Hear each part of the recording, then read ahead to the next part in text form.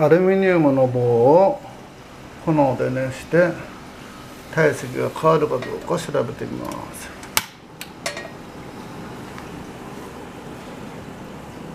えー、加熱を始めました。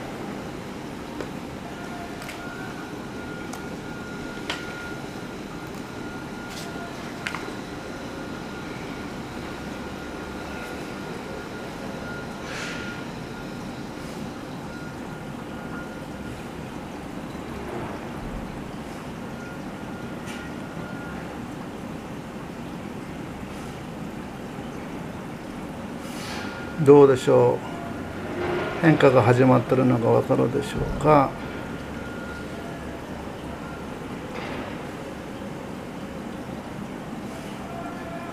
少し伸びてるのが分かるでしょうか？もう少し加熱しています。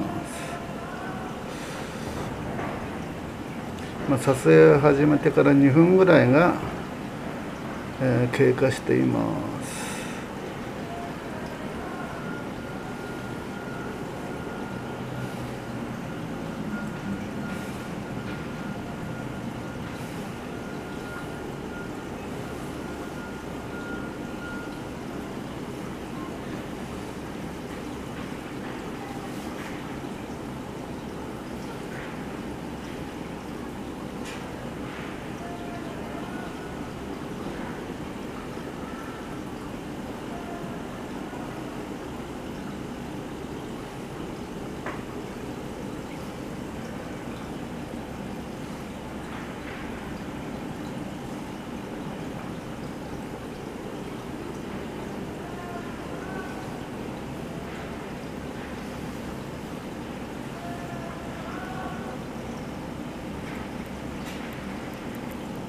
3分ぐらいも経ちました。